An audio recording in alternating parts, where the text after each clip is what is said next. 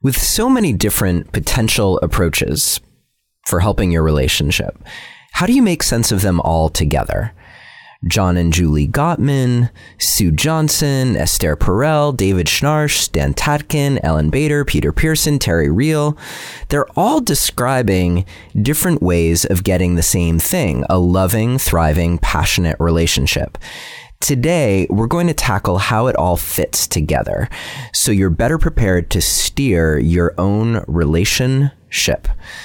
As always, I want to take a quick moment to thank you for getting the word out about Relationship Alive. Letting people know, either in person or on social media, helps ensure that when the people close to you need help with their relationships, they'll know exactly where to find it. And Relationship Alive is my offering to you so that you can have the most successful relationship possible and find deep healing and growth in your life. If you're finding the show to be helpful, please consider a donation to ensure that we can continue. Every little bit helps to keep the wheels turning here at Relationship Alive headquarters. So to choose something that feels right for you, visit neilsattin.com slash support or text the word support to the number 33444 and follow the instructions. And this week, special gratitude goes out to Anita, Patrick, Anne, Bin, Angie, and Cynthia. Thank you so much for your generous support of Relationship Alive. Now, this episode is going to be a really long one, so I'm going to keep the rest here short and sweet. First, I've created a relationship communication guide with my top three relationship communication secrets to help you stay connected no matter how challenging the topic that you're communicating about. These secrets are among the best that I've distilled from my conversations here on Relationship Alive and my work with my clients. And they're free for you. To download the guide, just visit neilsattin.com slash relate or text the word relate to the number 33444 and follow the instructions. Second, you are invited to come see Relationship Alive live on June 6th here in Portland, Maine.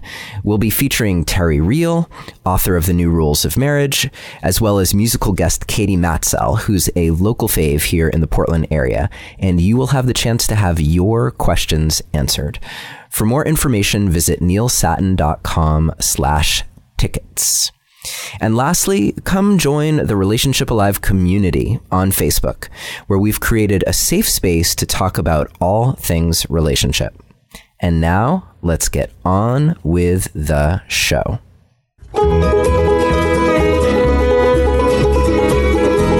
Hello, and welcome to another episode of Relationship Alive. This is your host, Neil Sattin. And if you can hear it in my voice, I'm particularly excited for today's conversation. Of course, we've had so many different viewpoints represented here on Relationship Alive because there are so many roads that lead to Rome, the Rome of romance and romantic partnership, and how we sustain loving, thriving, monogamous relationships. And it's not always that one road works for any one person. And this has come up several times in the show. This question of, well, you know, so and so says their their way is the way, and they sound so convincing when you're talking to them, Neil. So what do I do when it doesn't work? And this happens sometimes. So if you've tuned in for a while, then you know that the reason that I have all these different voices on the show is because I really believe strongly that it's whatever works that's important. Um, and I suppose for myself, I might put some boundaries around that, you know, what I'd be comfortable with or where I'd feel a little edgy or stretching. But for the most part, I think that it's up to you to really get informed about what's possible and then make choices that really align with you or maybe stretch you in a direction that feels like a light way to be stretched. At the same time, they all form part of this big puzzle that makes sense. And so I wanted to have a conversation today about how we integrate as much as possible the way that we think about all of these different me- methodologies so you can see how they all fit together. They are they don't exclude each other for the most part. They actually all find uh, a place in the in the big picture of how we make relationships what we want them to be. And as much as some of the people on my show might want you to think otherwise, this is my personal belief. And so to have this conversation, I've invited uh, one of my favorite guests to have here on the show, who also happens to be someone who's very good at integrating all these different approaches. His name is Keith Witt. He has been here before to talk about his uh, books Loving Completely, Shadowlight, um, The Attuned Family, and he is an integral psychologist, among other things.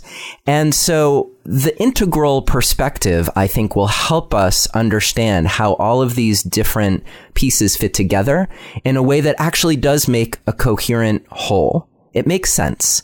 So, Keith, thank you so much for joining us today on Relationship Alive. I am always happy to be on your show, and it's one of the pleasures of my life. Our conversations. awesome. Well, the the feeling is mutual. Um, I do want to say before we dive in deep that we'll have a transcript of this episode. If you're interested in downloading it, you may want to read it a few times. You can visit neilsattin.com/slash/integrate because we're going to be integrating everything today.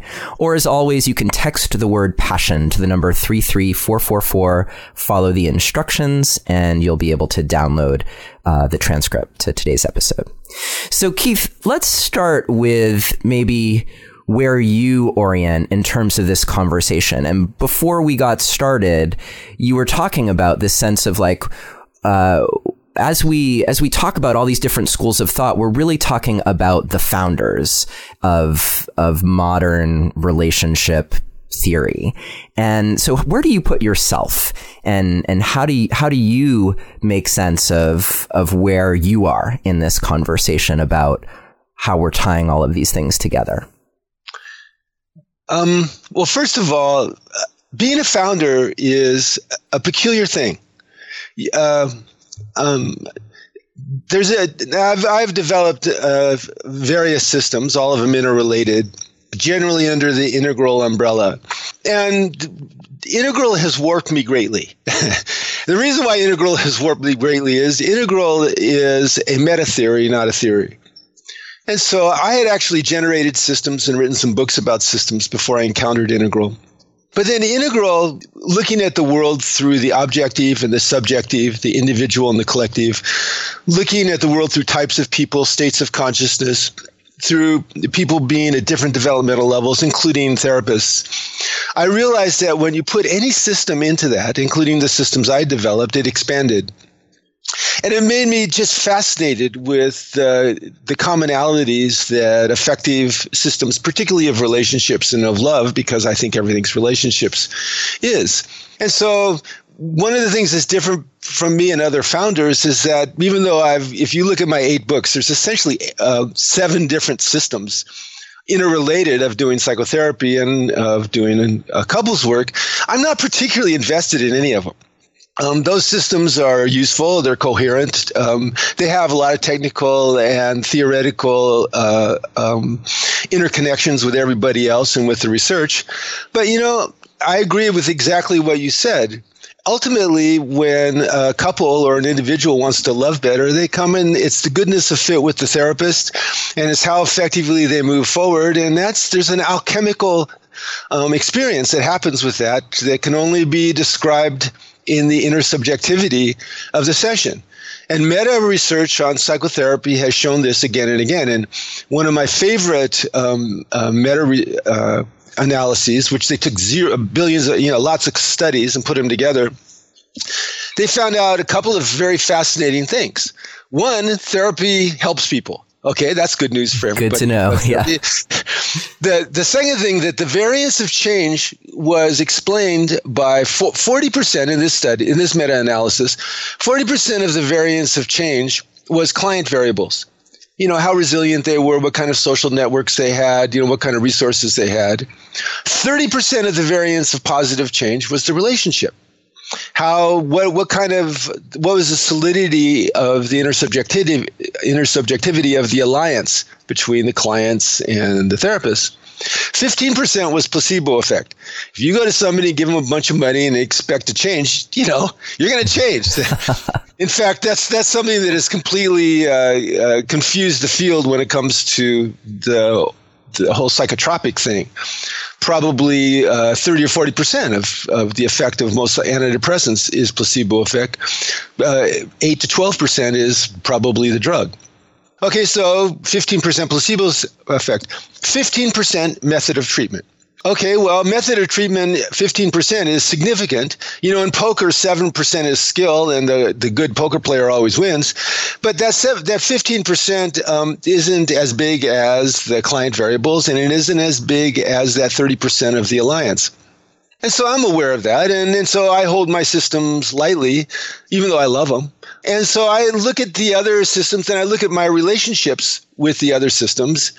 And um, I get a lot out of all of them. Um, but also, I notice that as we move through the fields, our own little blind spots kind of tend to affect um, how we absorb systems, how we enact systems, and how we um, uh, integrate them. And I find that interesting because every time I find a blind spot, that's an opportunity to wake up. And this is where our conversation went when we were talking about this. So, how do they fit together? Uh, well, as it turns out, even though they look very different from the outside, most of them fit together quite well in terms of the constructs that the various therapists bring to bear with couples and, and individuals for that matter, and what they have to do in a session to help people move forward. So that's that's pretty much it. I mean, my loving completely approach is approach that I love a lot, and you can check it out in my book Loving Completely, and my book Waking Up that I was one of the was the first book that I wrote after I, uh, I had my integral awakening is is one of the first texts on integrally informed psychotherapy, and it has it has sections in in in it around integrally informed sex therapy and marriage counseling, um, and I'm quite proud of that, and I think that works a lot. But are those more effective than um, Gottman's approach, or Schnarch's approach, or Perel's approach, or Tatkin's approach? I don't think so. I think pretty much you have a good therapist who's enacting a system and is attuned to their clients. Um, they're going to do pretty well and this goes for me all the way back to my doctoral research. I was always interested in this, and so my doctoral research was I took three different kinds of systems and researched them in terms of of how much they enhance the health of clients.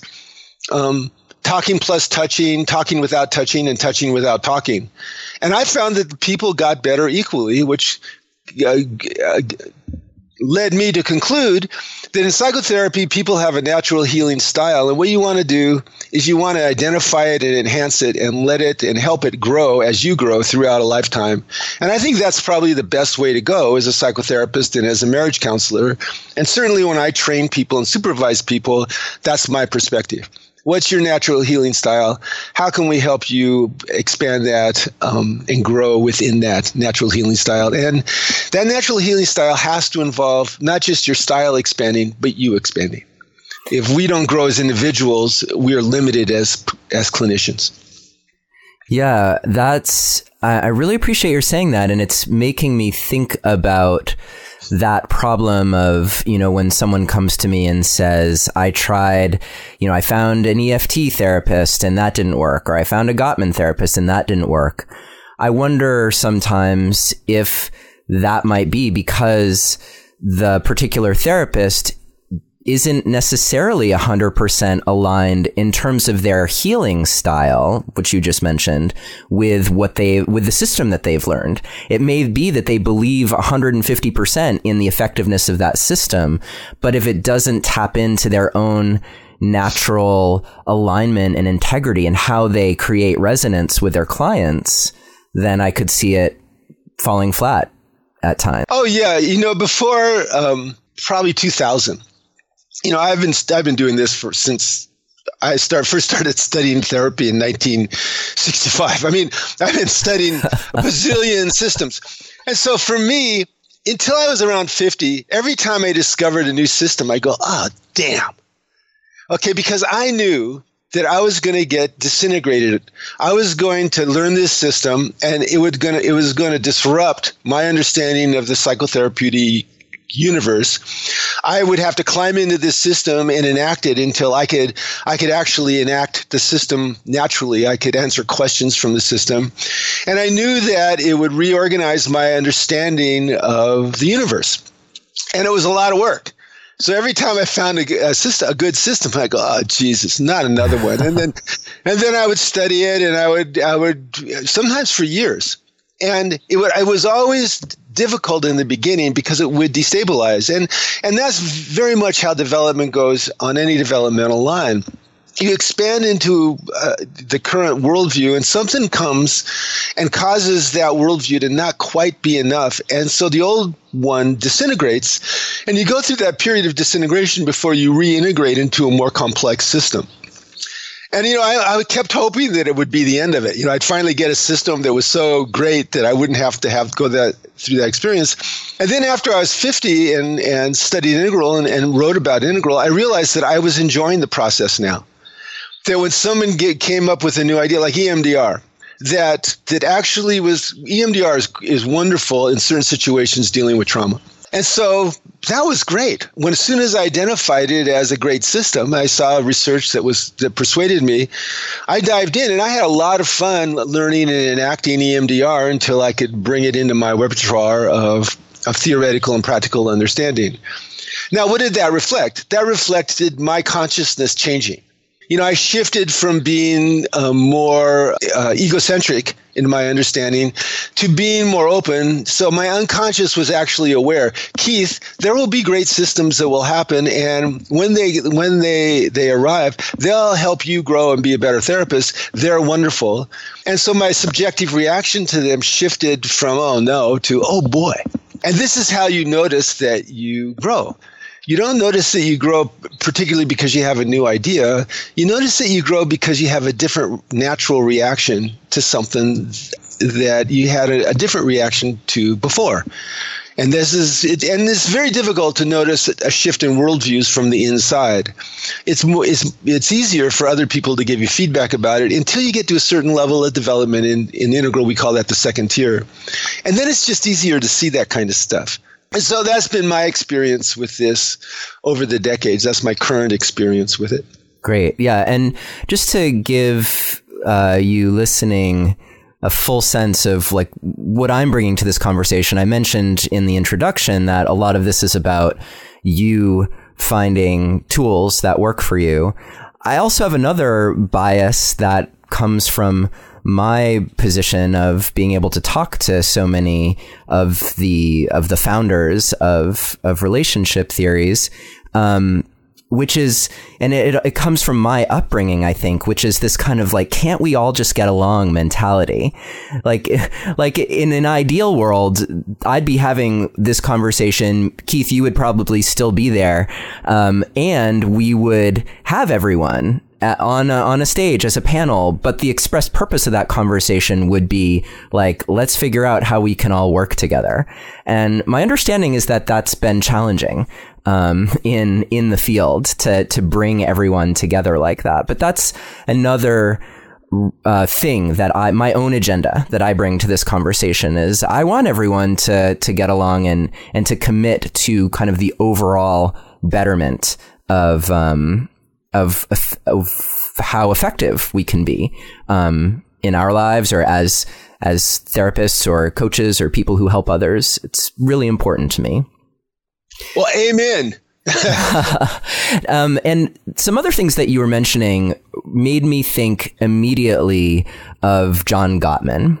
And I can't remember if he mentioned this actually in our first interview, if, if it was part of what I recorded or if it was just part of my conversation with him. But um, he talks about how important it is for him to know when he's wrong you know he's he keeps a very detailed record of all the ideas that he's ever had and I, I think he might have said that he's wrong more than half the time. Yes, um, he says that more yeah. than half of his hypotheses have been proved false. Right, right, and so for him, this is one of the things that he stakes his claim around is that he's distilled um, a body of work that statistically has been shown to work more than 50% of the time. I think, in fact, it's like 86 or something percent of the time.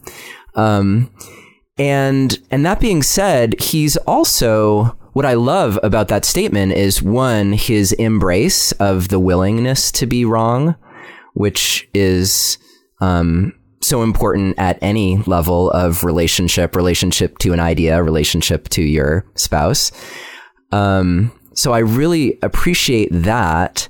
And also, um, it seems to be his major critique of uh, people who would use other systems that maybe haven't been uh, empirically proven to be effective because what if you put it under scientific scrutiny and found that it only worked 10% of the time like your best placebo on it you know uh, without or sorry your best drug without the placebo effect? Um, so that's where it gets confusing for people i think because they're like well if my um, if my local shaman hasn't undergone scientific study what do I do with the fact that it, it's actually been really helpful for me um, versus going to my Gottman certified therapist? Keith, we need to take just a quick break to talk about this week's sponsors. There are two of them, and they each have a unique offering for you. The first is Storyworth.com, who give you a really innovative way to connect with your family over time and distance to uncover the meaningful stories that have helped make your loved ones who they are and to create a sweet keepsake that you'll treasure for years to come. Each week for a year, Storyworth emails your chosen loved one a prompt to help them think about their life and experience in unique ways. All they have to do is reply to the email and their replies will be shared with whomever you choose. And in the end, they're all bound into a high quality hardcover book. I'm going to be gifting a Storyworth subscription to my mother for Mother's Day. Not only am I really psyched to find out more about her journey and the parts of her life that I don't necessarily know about, I'm also really excited to have something in a, in a book to have all of this collected in a way that my kids can read or my nephews or my children's children or my children's children's children, assuming that everyone still knows how to read and what to do with a book when that comes to pass. You get the point. I'm really curious to see what we all discover about my mom. And Storyworth has a great offer for you. For $20 off, visit storyworth.com slash alive when you subscribe. That's Storyworth, W-O-R-T-H dot com for $20 off. I'm also excited to tell you about our other sponsor for Relationship Alive today, who has a unique date night offer for you, especially if you're close to a major metropolitan area. Their name is SuiteHop. And what they offer is, I think, really cool. At venues and arenas across the country, games and concerts take place, and sadly, often the luxury suites sit empty or half full because they're simply not made as available to the general public as regular general admission seating. So if you've ever wondered what it might be like to take in a concert or a game from one of those luxury boxes, SuiteHop is for you they allow the owners of those luxury boxes to sell tickets to you so that you can have that experience. Luxury suites and VIP box seats are available in groups of two to eight seats, so it's perfect for a date night or a night out with a group of friends. And they usually include access to luxury clubs, exclusive bathrooms, which can be really important at these things, and VIP entrances to the venue. These are great seats for a show, and along with having plenty of space and no sweaty, drunk people landing on top of you, at least none who are unknown to you, they're also generally fabulous food and beverage options that can help turn a regular event into a luxury experience. On the SuiteHop website, it's super easy to browse the list of events or games in your area or to simply pull up a venue and see everything that's available.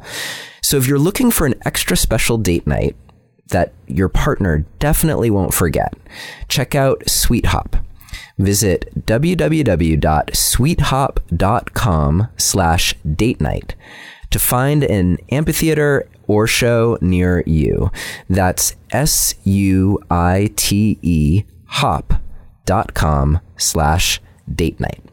And thank you so much, Storyworth and SuiteHop, for sponsoring this episode of Relationship Alive.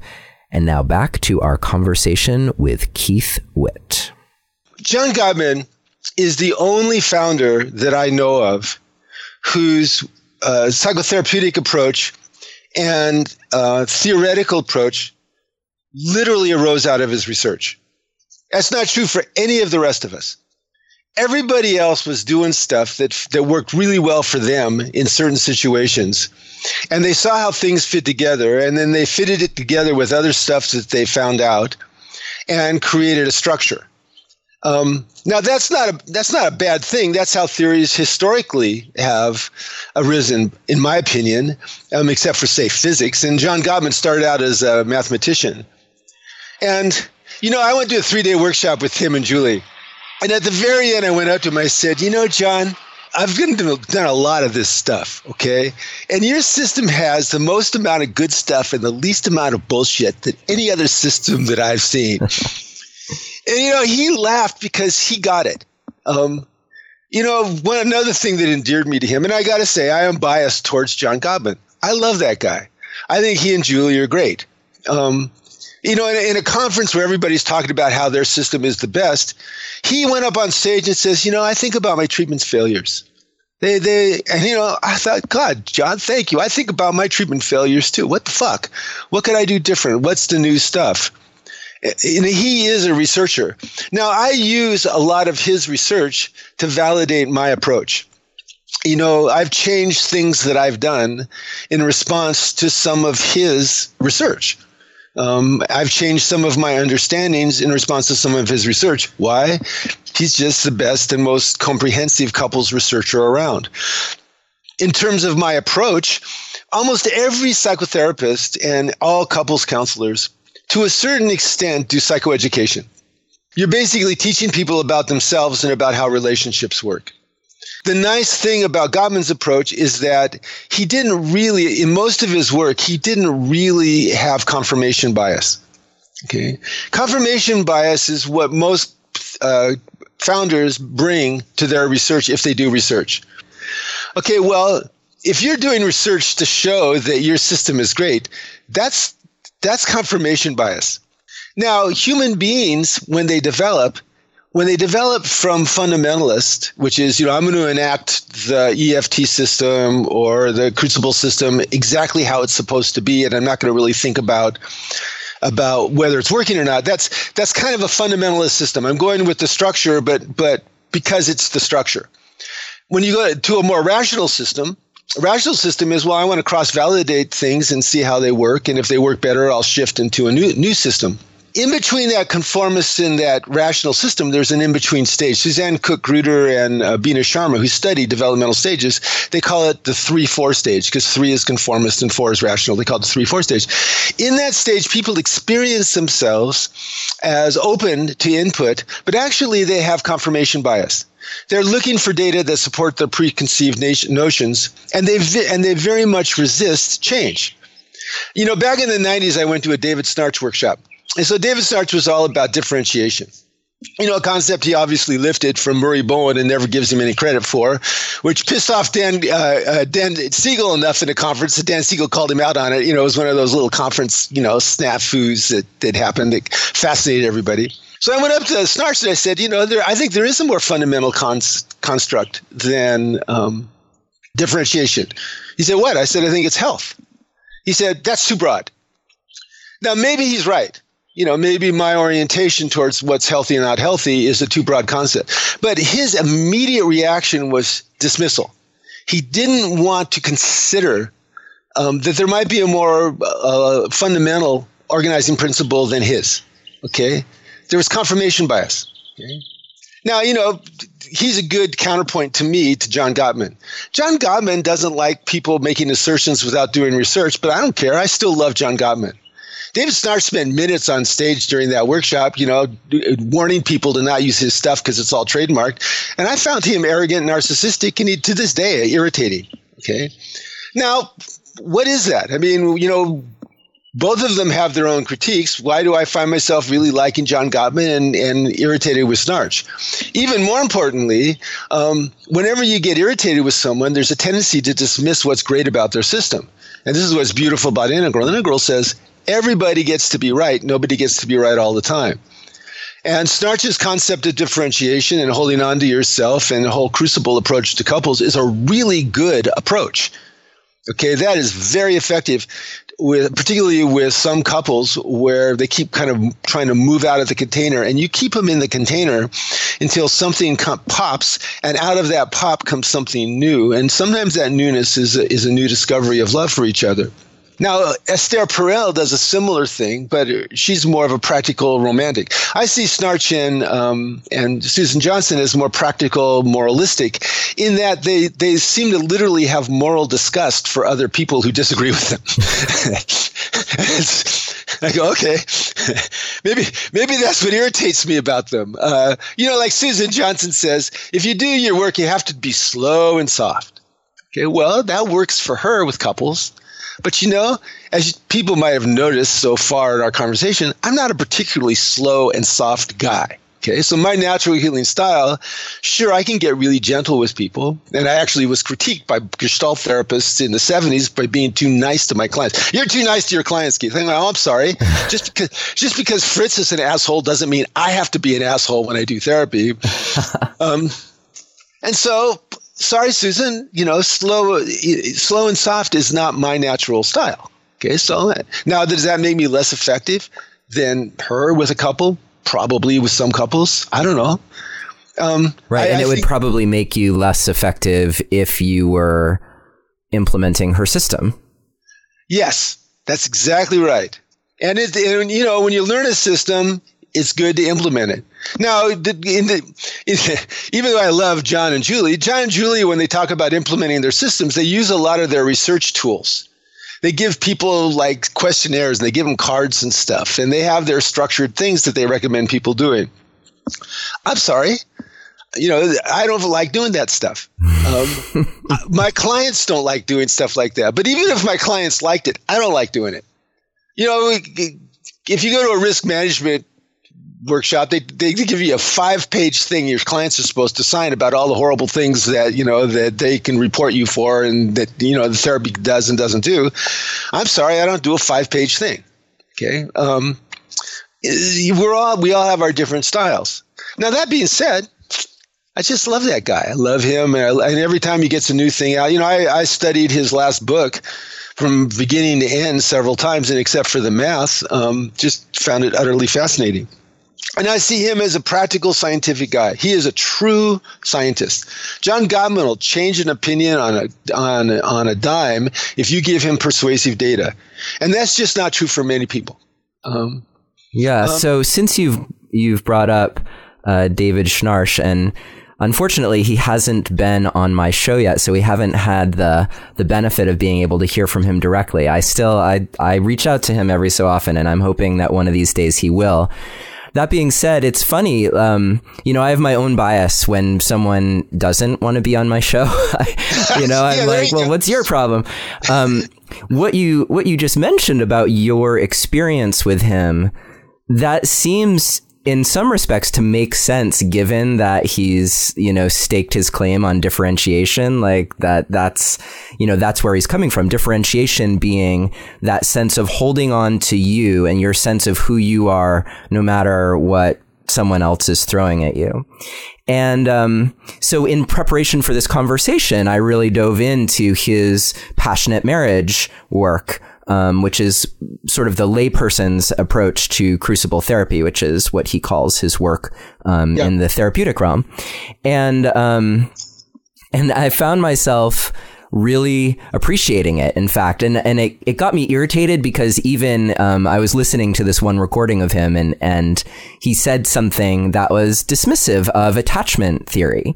And, yes. and I love what attachment theory brings to the conversation about relationships, both like how you un- come to understand your own dysfunction in relationship or how you come to understand the function of the dyad like what what that does for you and and concepts of safety and how that enables you to differentiate I love that. And it kind of bridges into um, Ellyn Bader and Peter Pearson's developmental model, too, which we can talk about in a little bit.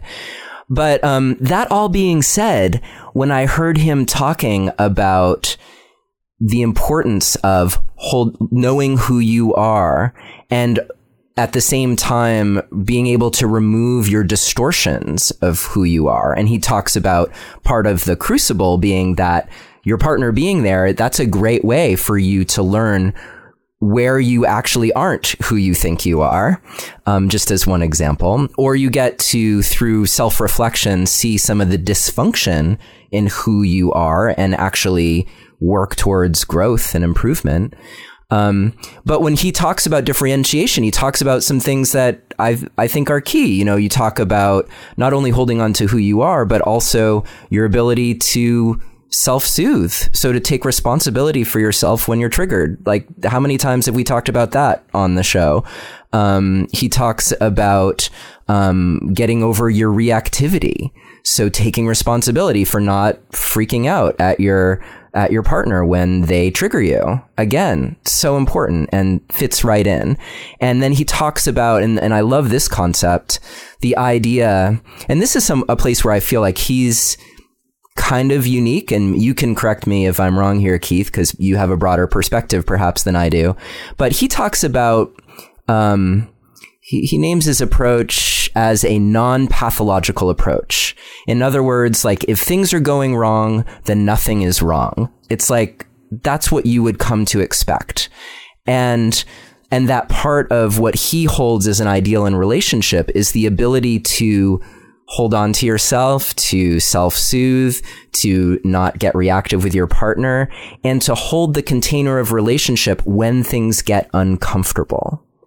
And that does seem so important to being able to grow with your partner. Like if you're so focused on fixing things and one of you capitulating to the other, it's not that there's never a place for compromise, but it's like in, I think in, in so many couples rush to that, they, they overlook the actual growth potential that happens in truly experiencing themselves as separate individuals with different ideas about how to live and, how to how to be in the world or how to be with each other.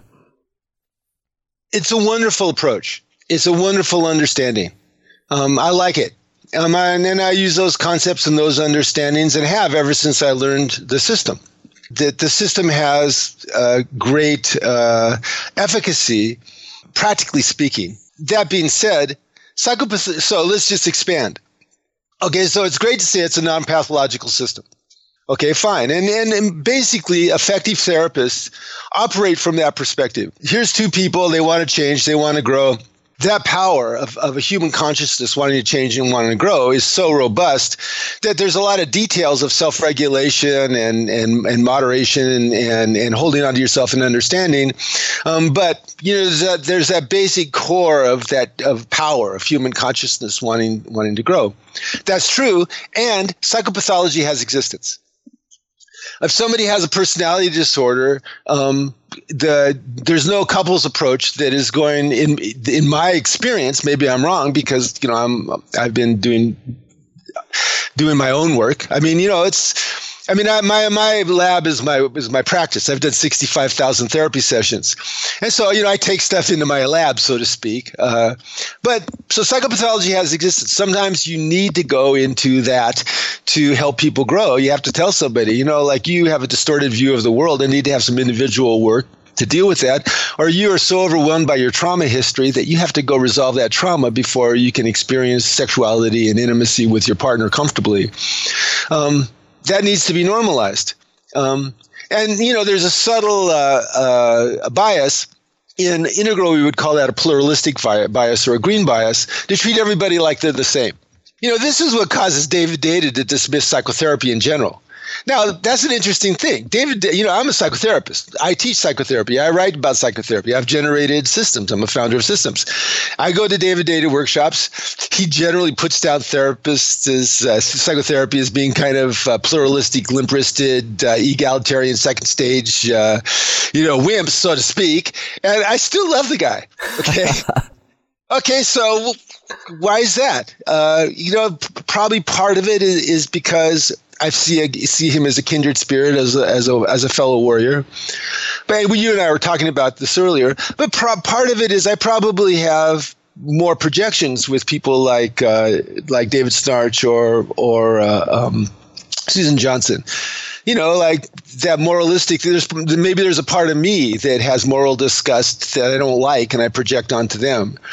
I do that with a little bit Dan Siegel. I love Dan Siegel's work. I've studied his books. I've listened to his lectures endlessly. I've enjoyed his lectures. And every once in a while, though, on stage, he starts complaining about how somebody treated him badly or how somebody doesn't understand him or, you know, he had to p- push back. And I just find that icky.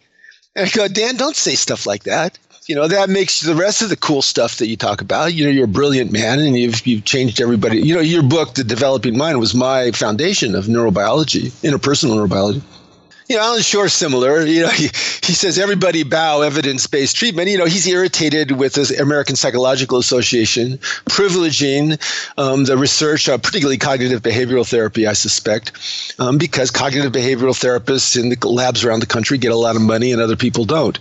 So there's there's a lot of personality that comes through, and yet all these systems have wonderful things about, about them. You know, so Schnarch is more practical, moralistic in that sense uh, Esther Perel is more practical romantic. I mean, she's practical. All the good therapists are practical. You know, you're with a couple, we're going to help them move forward and understand them individually and, and as a couple. And we have a vision of good relating that's for effective therapists is similar. But she has basically a romantic approach. You have your own way of understanding yourself and of love, and I support that as, as a therapist and you have your understanding of what you want with this relationship and I support what you want. And your your partner is similarly and we deal with that and from an accepting standpoint and a practical standpoint, how can we move forward? Uh, uh, you feel enlivened by your secret affair that devastated your partner. I understand how you feel enlivened by that. I understand the draw of that. I understand your resentment at your partner for not being more cooperative and creating better love. The, the partner is outraged that you did this. Well, I understand your outrage. I understand your desire to love better. She's it's a very romantic approach, but it, it fits very well with all the scientific approaches, the moralistic approaches, with even David Deida's mythological approach. I mean, David's David Deida is basically a practical mythological approach. He draws from the wisdom traditions of masculine and feminine. He used to teach the Shiva and Shakti scale, just you know, brought it out of the Eastern traditions, um, and yet it's it's practical. This is how we can help you understand yourself, understand your partner, and understand how you enhance the polarity to have the intimacy and safety and love and passion that you want.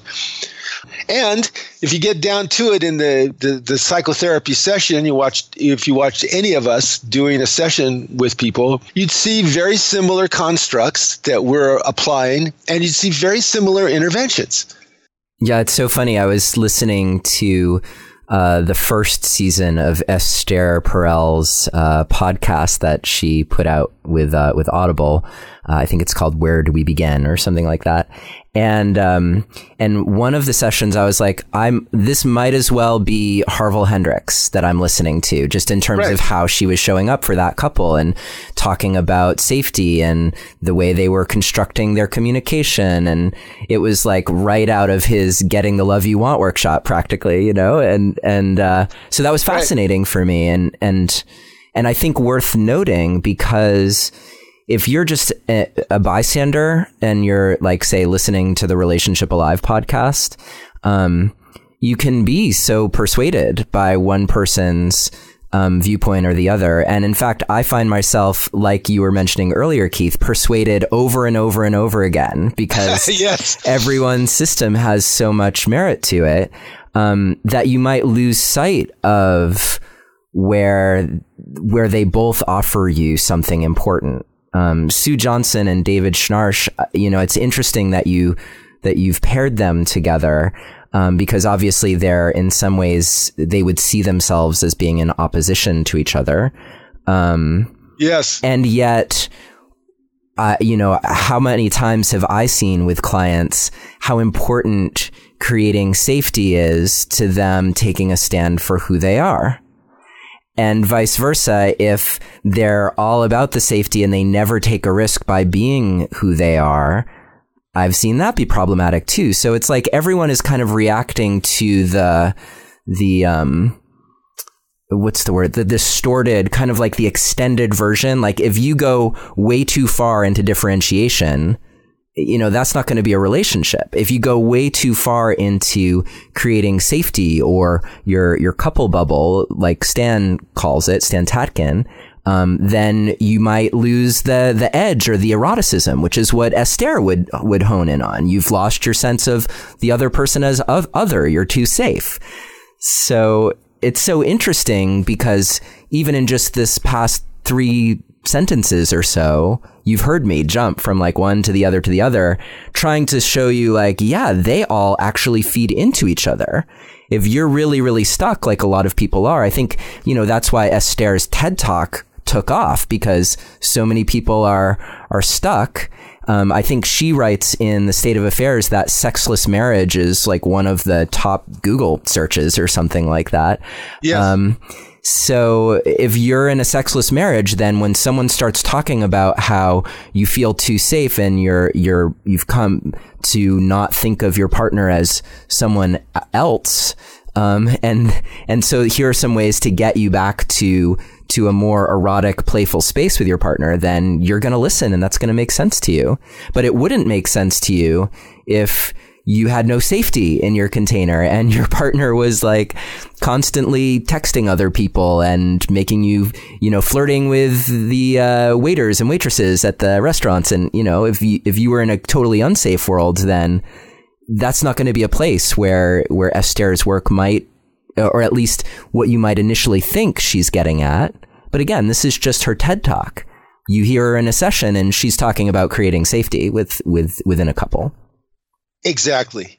Practically speaking, everybody comes from constructs that involve relational patterns, a developmental orientation, that people are influenced by unconscious influences and trauma programming.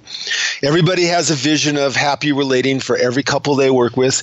No effective couples counselor doesn't do that. We all, if we have a couple, we immediately start having a vision of how they could be getting along better with each other. And all couples counselors are informed by the psychological and psychotherapeutic traditions and you know, a therapeutic relationship, attunement, and that kind of stuff.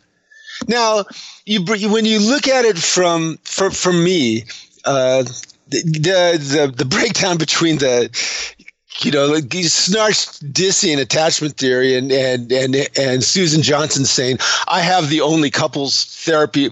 We never had a theory before me. Okay. Well, look, if you say to a bunch of founders, who have their own theories. You never had a theory that a good theory of couples until me. Everybody's going to get pissed off. So, you know, Susan Johnson says, I go, Susan, you've got a good system. You got a good theory. You don't have to piss us all off by saying that. You can, you, can, you know, you can say, I got a couples thing that I prefer to yours. And so John Gottman, you know, will go up in a workshop and say, well, we have our theory. You know, you know, he's speaking directly to that. Now, all that being said, Esther Perel and Schnarch make a point that a lot of co- other couple people, couples people miss. They go, look, sexuality is a big deal and it's been neglected by the field. And they're right about that. You know, that was true in the, in the 70s. People, therapists wouldn't even ask their couples about sex. It just drove me crazy. So I did a lot of sex therapy training in the 70s because I realized that to be effective with couples, I needed to, to be really good at helping them have better sex and integrated that into my work and have ever since. And, and David Deida's stuff has been priceless around that stuff. And so the field has kind of grown to that. And their credit, once again, uh, John Gottman and, and Julie, they have their system of expanding the conversation about sexuality and the behaviors about sexuality because they've demonstrated from their research that it's not enough to just down regulate conflict with a couple. You have to up regulate good times. And as I make the point that I make in my Loving Completely approach, a marriage is a is a friendship, a love affair, and a capacity to to uh, heal injuries and ruptures. That love affair is a big deal. Um, that first star, you know, is there erotic polarity between me and my partner, gets more space in my book than any of the other stars why? You know, if that love affair isn't happening, then there's a lot of problems that arise out of that. And that's that sexless marriage statistic that Esther mentions in her book. And stated, you know, I wrote a book called 100 Reasons to Not Have a Secret Affair. I couldn't find a publisher for it. And I read State of Affairs and I said, wow, I like this a lot better than my book. I really think that's a really good book about uh, affairs, and it, and it, it you can just feel that practical romantic orientation on her part. Yeah, and when you say romantic, let's just can you get more clear on what that means, just so we get you there. Esther has um, uh, is, this is now this is just my reading of her. Okay, and I've never talked to her. I hope I do someday. Um, there's a sense for her about love. There's a mystery, a cross cultural mystery about love there's love is I want to be loved, I want to love, and I want to do it in a way that works for me. And if it's not happening, I'm suffering and I want to make it happen. And if if it's not happening and I'm suffering, I, I, I, need to I need to, to take that suffering into the world and into my own development, into my relationship, and make love happen. And there's a certain mysterious quality about it. And you know, yes, there's things that interfere with it, like lies and abuse and all that other stuff. And and to a certain extent, because she works an awful lot with infidelity and, and that kind of stuff, you can see, you know, our, our, our, our practices shape our theoretical understanding there's that sense of if we open that up, then love will will happen. Now, hopefully, it happens with us as a couple. But if it doesn't, okay, you know, it didn't happen. Love, love, it, the relationship just because it ends wasn't um, unsuccessful. We lose each other. We move on, and we find love someplace else. Okay, to me, this is very romantic. Okay, this is this is a, a, a subjective, love-based, romance-based orientation towards eroticism and sexuality, um, and it's very effective. Uh, because that's how, in terms of the neurobiology of bonding, yes, you know, we go from our various arousal systems into attraction, into distracting attraction, into romantic infatuation, into intimate bonding, into life stages. Now, what I think I think Esther misses because she doesn't seem to be as interested in the science is that it's an apples and oranges c- comparison. The early attraction, distracting attraction, romantic infatuation, sexual drives with the sexual drives that exist in intimate bonding. Okay, in intimate bonding, there, there, I've discovered, or it's been my it's been my experience, to get to, to go into those romantic infatuation circuits. It's very, very it's very intricate and detailed, and it's very and it's not nearly as easy as finding a new person that you don't know. And so you can't compare. Well, it's very hard to develop romance and passion with my husband, but really easy with my lover. Well, of course it is. We're wired to have that be the case. That's not the point. The point is that, and now we're getting into an integral understanding of evolution of consciousness. As we expand our consciousness, as we get more world centric and more compassionate and less bullshit, our relationships are more demanding. Um, and so it's very, very difficult. I, I haven't found relationships where people have the, the depth of connection that they want, knowing each other and accepting each other and loving each other deeply, that they have that and that that container, which is powerful but fragile, can tolerate one of them going out and falling in love with another person. Um, um, and also, that container suffers if they don't do what they need to do to, to take care of their love affair, to have a love affair that they believe in, that they're sustaining with each other. And, so, why is that fragile? Uh, well, because it requires an awful lot um, of attention and knowledge and understanding and self regulation. Um, why is it great? Because there's deeper intimacy available in that container than in previous containers over the last 10,000 years. Um, and it's more demanding. Um, if you have a very, very primitive, say you have a relationship that's this pure conformist, you know, we're getting married, you know, we're going to have kids, we're going to do what the Bible says or the Quran says. In those cultures, women stop having sex with their partner um, when they stop being of childbirth age in general. Fascinating s- uh, study. They just go, you know, at that point they go, well, I'm not going to do it anymore. A lot, not always, but to a fair amount. Okay. You know, why is that? because there isn't a developmental layer of intimacy that that they and their husband are working for because they're in a system where he's in charge. She has to do what he says. You know, I do. I say yes to sex until I can't have kids anymore, and then I can say no if I want. And if we don't have a certain level of intimacy and a commitment to depth, why would be we be interested? You know, he would be going after youth and beauty, and maybe I'll have an affair, or maybe I won't. It just depends. You know, if you're going in, but if you both have the sense of equal depth, if you both are post formal operational, if you both want to sustain your friendship and your love affair and expand it and expand each other, well, then that requires um, uh, a different kind of intersubjectivity. Okay, so these these are very complicated forces that are operating on all of us.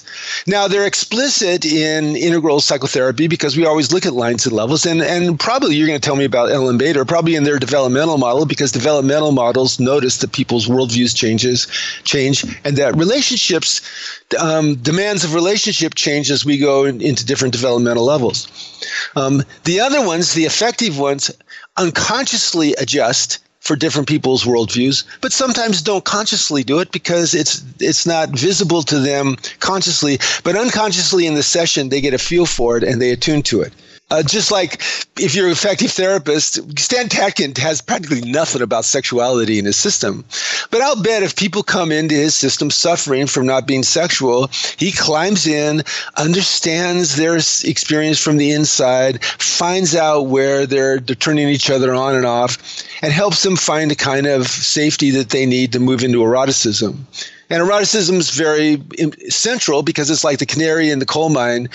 Everything else has to be going pretty well for you to be good lovers with your partner. It's very rare as a couples counselor for people to come in saying, "Yeah, we're both full fulfilled sexually. We enjoy sex. We have sex regularly, um, and we want a divorce."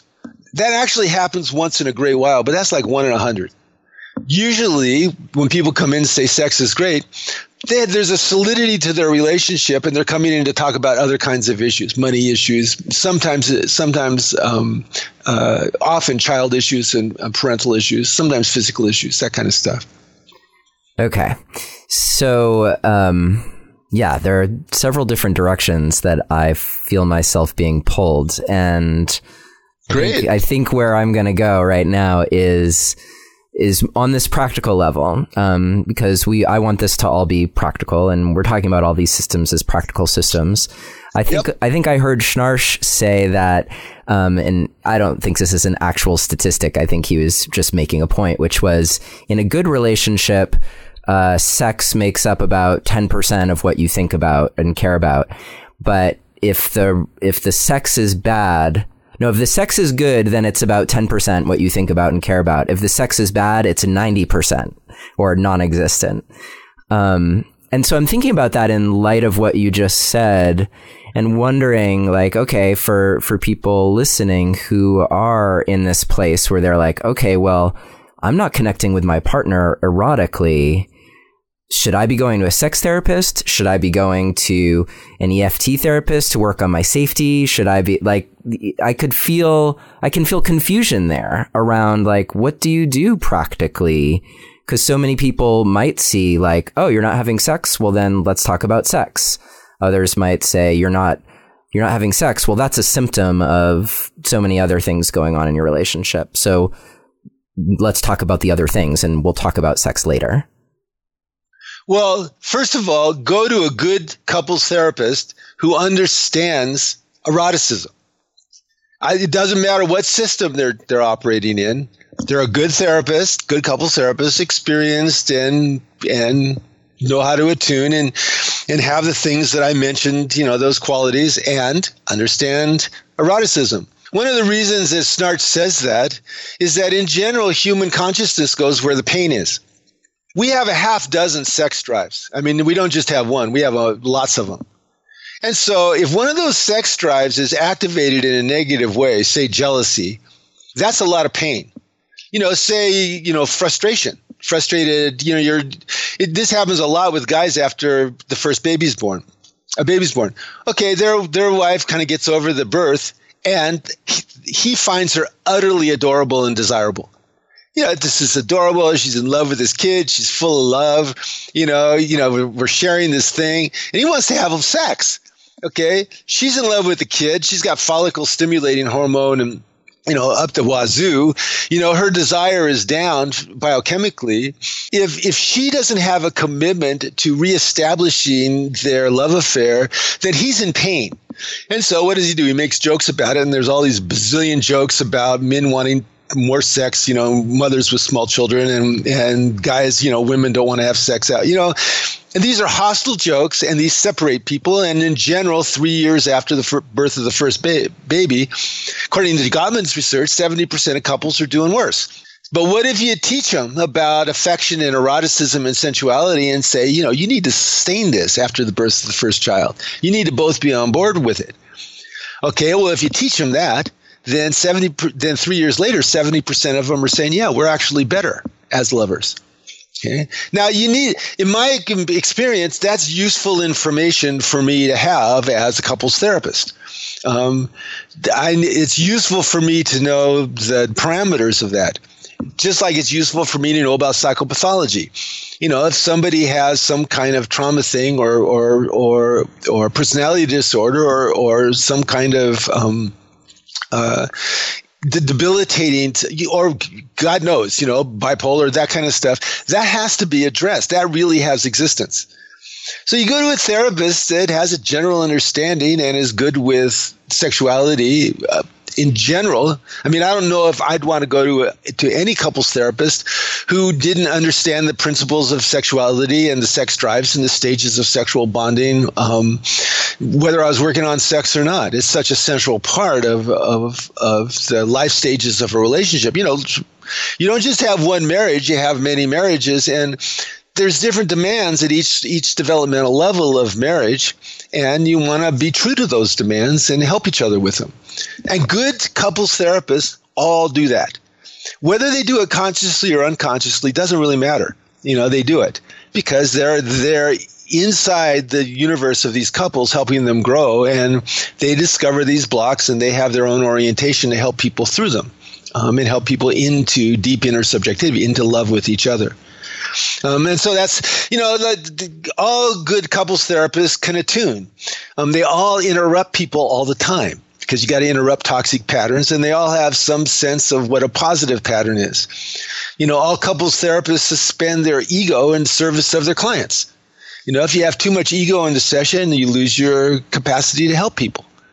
Okay, I mean, you know, all all good couples therapists um, are willing to share their their clients' pains all good couples therapists, you know, tell vivid enough stories, have vivid enough metaphors that they register, they land with people. You know, they're bringing their best selves into the work.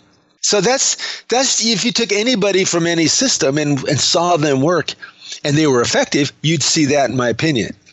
And so that's their natural healing style. And, you know, you keep expanding that. And after a while, and what breaks my heart about this is since people resist change, there are hundreds, maybe thousands of natural healing styles in existence being, in, in, being embodied by great practitioners that we'll never find out about because you know there's a resistance in the field to you know new systems. And these people don't have as much you know i don't advocate much for any of my systems. So as a founder i haven't like you know pushed to make one of my systems famous. Okay well that means a lot of people haven't encountered a bunch of my systems Okay, well, that's that's kind of a weakness in my approach as a founder, really, because if I want to make an impact, I should go out and beat drums about my systems, and I don't. I go, well, yeah, I like my systems, but the other ones are great too. Use the one that study the ones that turn you on. Turn that and have that enhance and expand your natural healing style. What lights me up is people doing that. Um, and if they want to use my system, if they like it, of course, I get a little ego rush from that. Sure, that's great. Everybody likes to be told they're great. You know, you're you're great, Keith. Yeah, there you go. Yeah, oh, and, I'm a little embarrassed, but you know, I also often do if my clients compliment me extravagantly, I'll, I'll get embarrassed, partly because of transference stuff. You know, okay, so people go through stages, and partly because, you know, I'm uncomfortable with my ego. I don't want it to show up in my session. Anyway. Yeah, yeah, and I'm thinking of something you said earlier about uh, systems that. Um, that maybe do or don't actually handle mental health all that well. That there's, um, you know, a lot of these systems work well in the context of someone isn't suffering with major depression or borderline personality disorder. Um, and that made me think of certain modalities that are helpful with that. Like in particular, what came to mind was internal family systems, Dick Schwartz's system. And I love that and um, and there's been an, an evolution of that uh, intimacy from the inside out, which is basically applying internal family systems to couples therapy. Um, yes, and uh, that uh, Toni Herbine Blank, she's been here on the show to talk about that. Um, I this is something that I feel particularly connected to is this question of how we in relationship actually show up for each other to help heal. Because um, I don't think that there are many people in our world that have escaped some form of trauma or another. I think we all have like places where we're wounded or where we don't want to go. Um, so, you know, we're talking about all of these systems in many ways from the perspective of like going and seeking help, which I definitely encourage you to do. It's like a good idea to go and, as Keith was talking about um, a little while ago, to have that outside perspective until you're really good at getting outside perspective on your own. Um, but that being said, uh, I I like those modalities because uh, the more conscious I think you get of how you heal from trauma. So I'm thinking of yes, internal family systems, somatic experiencing, um, the things that really enable you to identify what's happening within you, both your your body awareness and and how you attune to your body, but also, you know, what Dick talks about in internal family systems, literally identifying the different personalities in you who are competing and at war. He calls them parts. Um, yes. And then you can bring those dialogues into your conversations with your partner then I think there is a lot of potential through that, through co-regulation, um, to to actually heal with each other. I don't know about any studies that show that that's going to be curative if your partner has depression, for instance. But I do have a pretty strong belief that that's going to help you show up in that relationship in a way where you're still feeling connected and and you're in integrity there are studies that show that it is curative to expand into your intimate relationship, your family relationships, and your social relationships to be curative with, with depression. Just like there's studies, many studies, overwhelmingly, that show that exercise is a better antidepressant than any drug. Um, so that's all true. And the, your central point, I think, is huge. And that central point is when a couple has mobilized to one have compassionate self observation of both their healthy and unhealthy sides. You know, I go in my shadow light book, I talk about growing your shadow and that our unconscious is constantly giving us constructive and destructive messages and that we have resistances, defenses against being aware of them. And, uh, and to the extent that we do that, we have problems with ourselves and in relationship with other people. Because let's face it, the more intimate you are with yourself, which is having compassionate awareness and self and acceptance and, and of yourself and self-regulation, the more able you are to be intimate with other people. So that's just that's just how it works. Ask any therapist, any couples therapist. And Dick Schwartz's uh, approach is wonderful in that one, he develops, you'll notice, there's always a compassionate witness observing these inner parts. Okay? Just like meditation increases the capacity of the compassionate self-observation, the witness, as we say in the in the wisdom traditions, so do these systems that look at these inner parts. Because if I'm looking at inner parts, who's looking? You know, the compassionate witness is looking, and awareness regulates. So as I'm looking at these parts and I'm identifying the constructive and destructive ones, already I am unconsciously upregulating the constructive ones, downregulating regulating the destructive ones. Okay, that's a great language and it's non-judgmental, but it's very, very powerful. Now say you do that with your partner. Instead of taking offense when your partner says something nasty, you go, wow, that was that nasty subpersonality. And you go, whoa, you know, that was kind of nasty. And they go, oh, that was my nasty self. I'm sorry. Now, at that point, the nasty self isn't in charge the compassionate witness is in charge, regulating the nasty self, and now bonding with that partner, and they are collaborating to help shape each other to be their best selves. When you get to that point with a couple that are doing that with their friendship, their love affair, and their capacity to, rec- to repair injuries, that's a self sustaining system that creates the great relationships.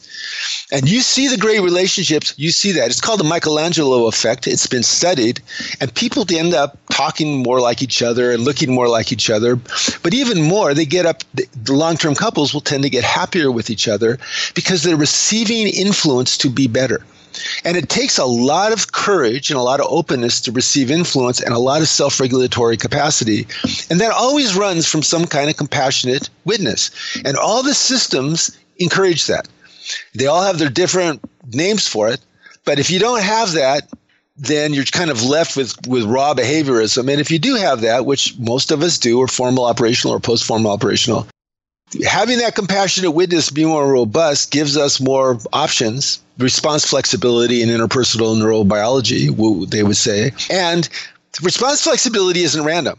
You know, I want to choose the healthy responses, which support love and support health, and I, I want to say no to the unhealthy ones. Okay? But I have to be aware of them. I have to be able to regulate them. That's where Alan Schore comes with regulation theory. Um, that's where Harville Hendrix, his systems basically force people to self regulate because they can't go into their fight patterns because he's given them different patterns to do. And so, probably the power of his system is as much by not allowing people to do their hostile patterns as it is giving them new patterns. And I think that's true for Dick Schwartz too in internal family systems.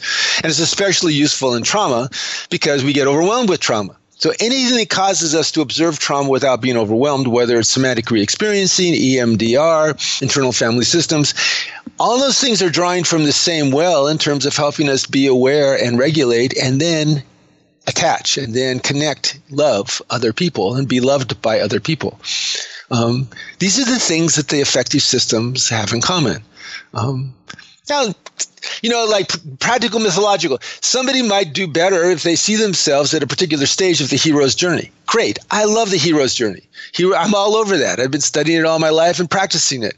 Somebody might do great and say, well, I have this destructive, you know, an internal family systems thing. You know, one of my firemen is just driving me crazy, you know, by, by giving me all these, these impulses to regulate myself in unhealthy ways. You go, well, yeah, but he wants that fireman in you wants to feel better. And what are, what's a healthy way to feel better? Oh, now I'm going to these other selves.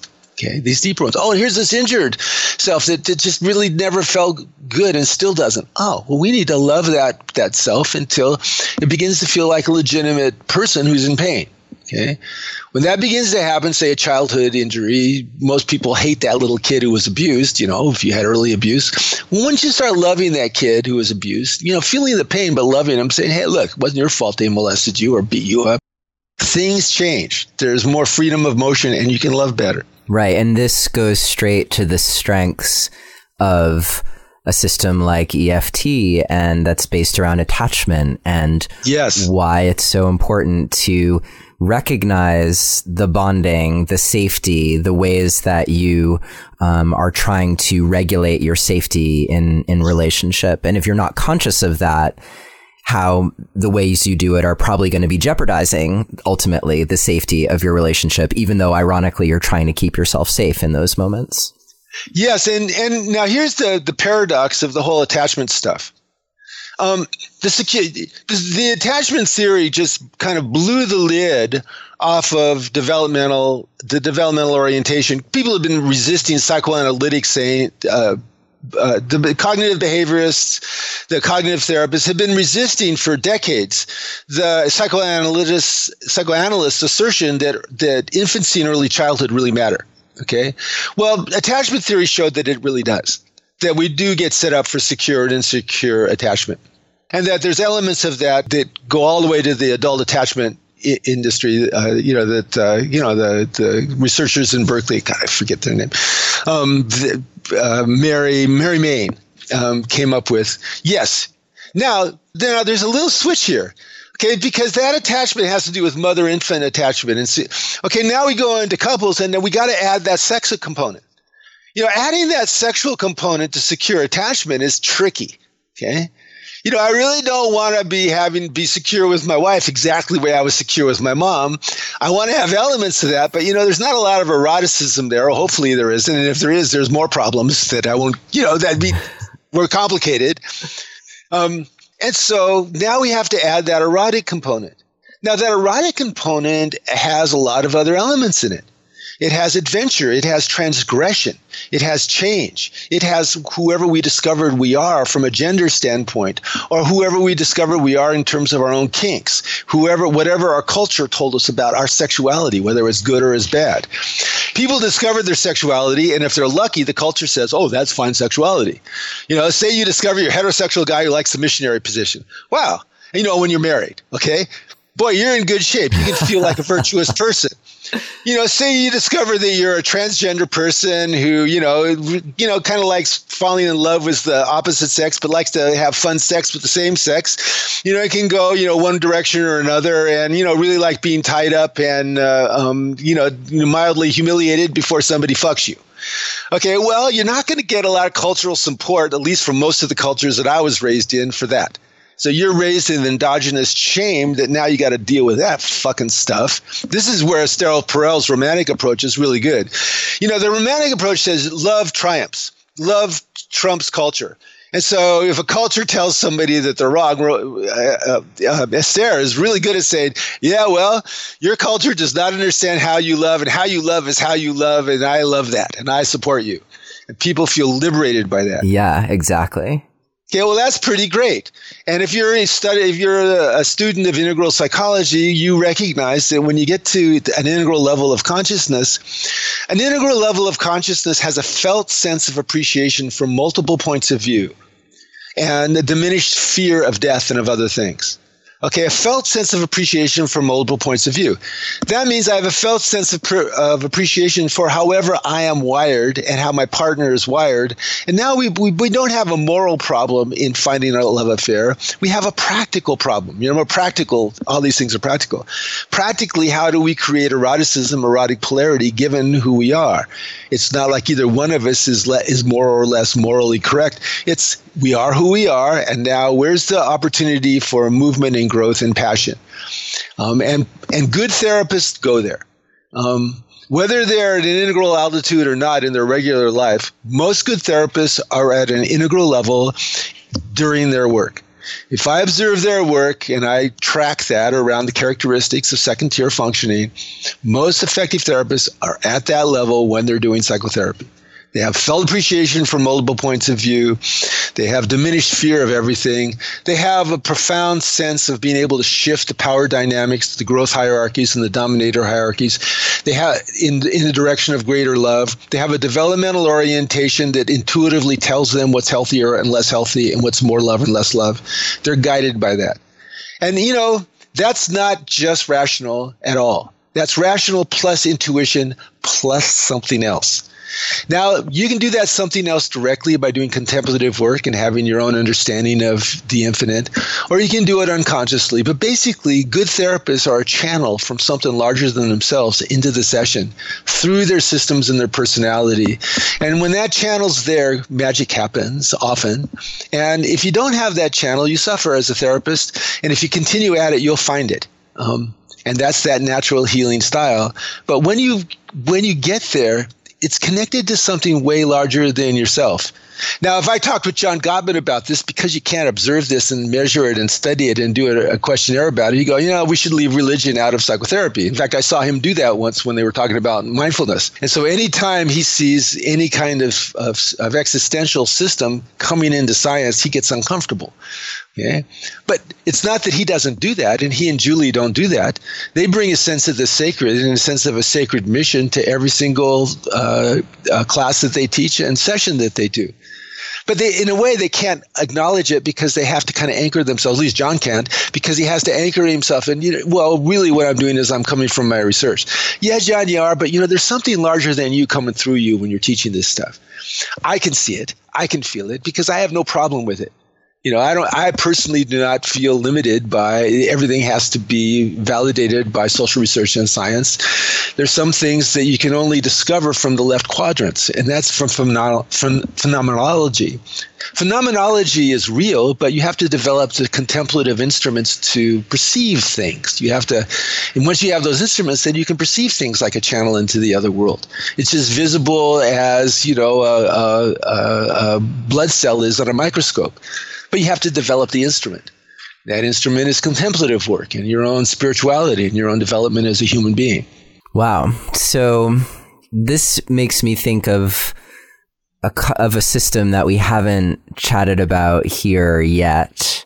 And it ties in a little bit to attachment theory um, and also kind of feeds into biohacking. And I'm pretty sure that we that I talked with you privately about um, the book Cupid's poison arrow. We were talking about Carezza, and I'm thinking about the way that um, fostering uh, what they call bonding behaviors, f- behaviors that are uh, oxytocin producing, which is all about our pair bonding, all about our attachment, and and diving into those behaviors allow you to experience some a form of transcendence which feels very contemplative in terms of of one's uh, sexual connection with their partner. And and now we're we're talking about sexual development in a way that isn't entirely about eroticism, but that in they talk about it in that book because um, their theory is that, um, and I'm I'm saying they, but it's Marnia Robinson who wrote the book, is that it's the um, the chase for erotic polarity and the dopamine cycle that actually causes habituation to your partner and and escalates your the demise potentially of your relationship and your attraction to your partner whereas if you're focusing on things that promote oxytocin and bonding that you know might you know, Sue Johnson, I haven't talked to her about um, about Marnia's book, but I could see her liking it from the perspective of like, oh yeah, it's like all about attachment um, and fostering safety. Well, now you're able to do something that's also sustainable because we don't develop a tolerance for levels of oxytocin and vasopressin in our systems. Um, so first of all, I laughed because you you mentioned that book to me. I went, okay, so this is one of those situations where here's a system. So I thought, okay, well, I'll check it out. So I went online, you know, read the first couple of chapters, and oh, really? And so I bought the book and I've read it. Okay, um, and it's a now no offense to to Marnia. Okay, um, I, I think that this this system is really really powerful, and I think it's powerful not just for the reasons that she mentioned. I think it's powerful for other reasons. Um, it's not just oxytocin that is increased by practicing Carezza. You also increase vasopressin in men, which is a male bonding right. uh, hormone. You also you increase testosterone. Going into sexual arousal and not resolving it into orgasm, keeping it into that state increases levels of testosterone, which also which increase levels of erotic urgency. Okay, that's another thing. Okay. Also, if you look at all the, the practices, including the tantric practices, you'll see that the first levels of most practices involve renunciation. Anytime that a human being takes one of the drives and does renunciation with it, it puts them into a kind of a stark connection with their own material that they have to then wrestle with. And if you do it with a partner together, you two are now engaged in a shared tantric practice that shared tantric practice of we are now monitoring our levels of connection and love and passion too because you know when you do carezza you you go to a certain level and you don't want to get too high or too low. But you know you're a level of, of erotic charge and a level of bonding and you kind of stay there. That's why you don't have orgasms. Now, personally, renunciation is not my favorite, as everybody can probably tell from my tone of voice, of practicing. I love orgasms. And so th- the way that I manage that in my life is I have frequent sex and frequent orgasms. Okay. Now that keeps me attached to my wife. Um, why? Well, the habituation part of uh, uh, eroticism, so on, doesn't just run off of erotic habituation. When you enter the intimate bonding stage of relationship, you have the depth of connection with your partner where you recapitulate your family of origin levels of intimacy. That's when the more primitive and the more the older and, and deeper defenses come out. Those defenses were designed to protect you and to separate you from people that were acting badly and they happen happen in intimate bonding and they separate couples. Couples that work through, reach through those d- defenses into pleasurable contact of all sorts. That's another way of keeping that sense of special connection alive. It doesn't have to do with eroticism necessarily. It has to do with walking into the room and seeing your partner and smiling and feeling the pleasure of your smile and their smile. It has to do with passing her and stroking her head and her feeling the pleasure of that stroke. Uh, couples that, that consciously practice those particular kinds of techniques, they, those couples are upping their oxytocin levels on a regular basis. You turn those kinds of practices into habits, then you habitually are increasing oxytocin level. You turn uh, adjusting anger into regulating it into deeper contact, which is what you do when you're working with with wounding. So you start out separated by anger, and then you become you become connected by resolving it into love for each other. That actually, you know, plays on those same uh, chords. Okay, because habituation happens in many ways, not just one or two ways. Now, the Carezza stuff works really well. It keeps you charged with your partner, and the people that do that kind of stuff report the same kinds of um, benefits the people who consistently practice any of the tantric uh, techniques.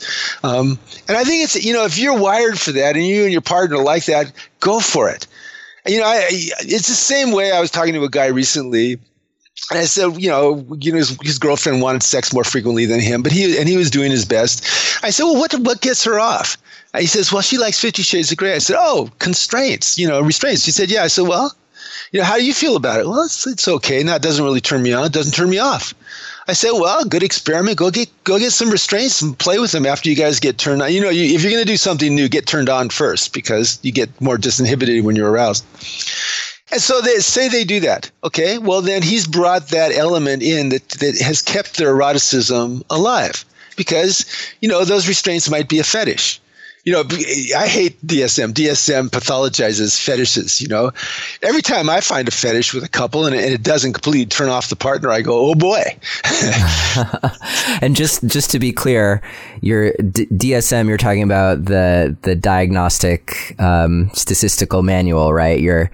I want to just just uh, remove that from BDSM, which is what you're also sort of oh, talking yeah. about in the moment. So yeah, sure. Yeah, the DSM, otherwise known as the Book of Woe, has every you know has a bazillion things that that that are human problems, and it has a diagnosis for them. Right. And some of those are quite useful, and some of them are not useful, and some of them are bullshit. And you know, everybody in the field has a lot of hostility towards the DSM, but we have to use it because it's a common language. Um, so you know, a fetish is a problem if it if it interferes with individual relational health, and it's and it's an asset if it you know can bring eroticism. But my point about it is, to me, the Carezza practices fall within that, and you can see, you know, Carezza started in the end of the 19th century and the beginning of the 20th century. And so, what to me, what Carezza ushered in was the egalitarian marriage between two educated people wanting to maintain a certain kind of special intersubjectivity that was deeper than the people around them. Okay, and and this was a sexual way of doing it. But to be able to do that, you do have to be educated. You do have to be self aware. You do have to have capacities for self regulation. You do have to be consciously sexual and have a conscious sexual practice that goes somewhat against cultural uh, constraints, at least in the first part of the 20th century. Now, all those things that I just said are things that make relationships way better. That now, that don't have to do with not having an orgasm or maintaining a certain level of connection, but have to do with everything to do with intimacy, intersubjectivity, and the development of consciousness and the, the co development of intersubjective consciousness. So I'm appreciating that just like every other system that we've talked about, even Carezza is a model that it's there for you to to try and to see yeah. how that affects you. Does it have a positive impact or a negative impact? If you take Carezza to an extreme and then you happen to have an orgasm, you might feel shame around that. Well, it's yes. it's it's stopped helping you at that point, right? so so everything in in its in its place to everything its season. Um, and that being said, it's it's a helpful seasoning um, to have. You know, uh, back in nineteen, uh, what was it, um, seventy nine? I was studying with a Taoist priest and martial artist. I was learning a very intense, uh, kind of explosive form of somatic therapy called symbol linking therapy, and I became his apprentice and was studying martial arts and uh, and healing with him. I mean, it was just one of those archetypal things. I mean, so in the end, at the very end, I studied like hard. I became his number one guy. And in the end, there was this yoga called the Yoga of the Five Dragons. And to get the five dragons, you get one dragon every week, and you can't have an orgasm for five weeks. So not, not only that, because he wanted to make it hard for me, I had to go down to his fighting class in San Diego, and I had to fight every guy in that class. Okay, it was just one of those martial arts movies things. you know, it was at the end. I was all covered with blood, right? So they had this circle and they brought this poor young fucker in, you know, come fight Keith. He looked at me and he burst into tears. Oh my God. so then the teacher got in this ring with me and I had to fight, finesse fighting the teacher so I didn't get killed and, and I could get out of there. Uh, anyway, though that five weeks of not having an orgasm when I was 30 years old was a fucking nightmare for me. Now, I can't remember what effects it had on my relationship with Becky at the time. You know, Becky is way more flexible than me around sex. We were intimate, we were supportive, and so on. And it was really useful for me. I remember those five weeks with gratitude because I had to kind of discover new things about myself within that context and about us. Um, and so I can really see Carezza being something, if a couple practices it, you're going to go deeper into your love and your eroticism with each other, um, whether you do it for a month or for a lifetime. Um, and that kind of shared practice bonds people. It's kind of like, you know, both of you becoming yoga enthusiasts or, or both of you, you know, really loving um, meditation together. Uh, only this is this has a, those erotic, those shared erotic elements that you don't do with other people. That makes couples special. And that special form of eroticism, um, I think, makes you stronger with your partner.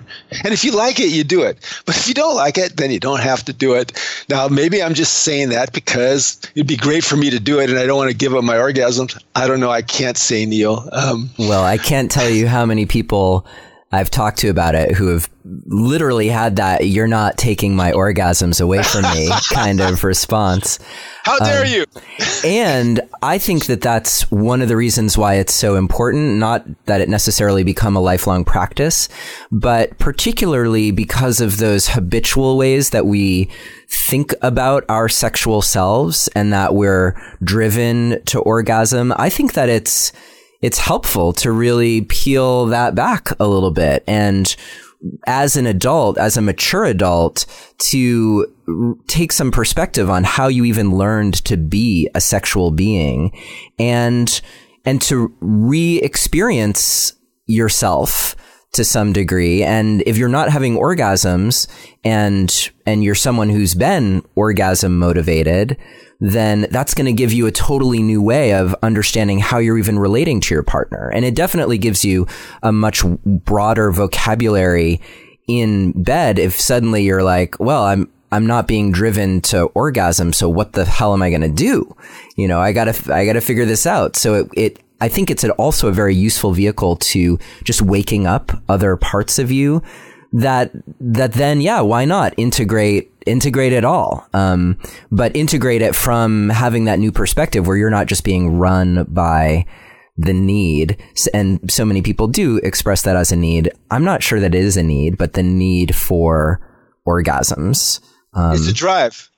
And so first of all, it's, it's a drive. So, you know, with the drives, we don't, we don't deny that denying the drive screws us up.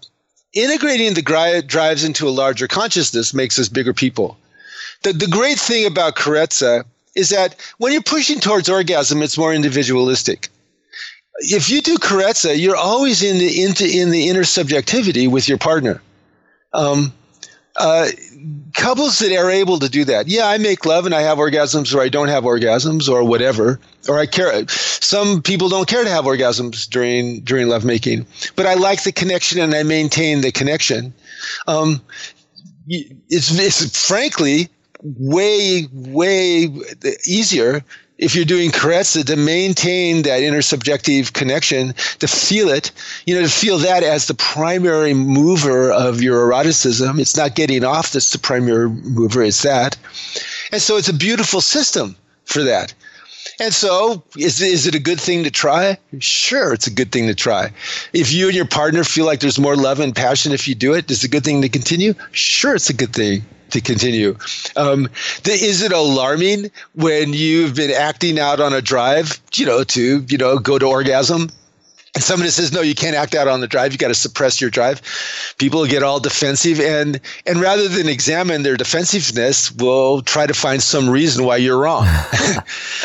well, you know, in integral, you go, how how is this right? How does it fit into the larger framework of the infinite variation of consciousness?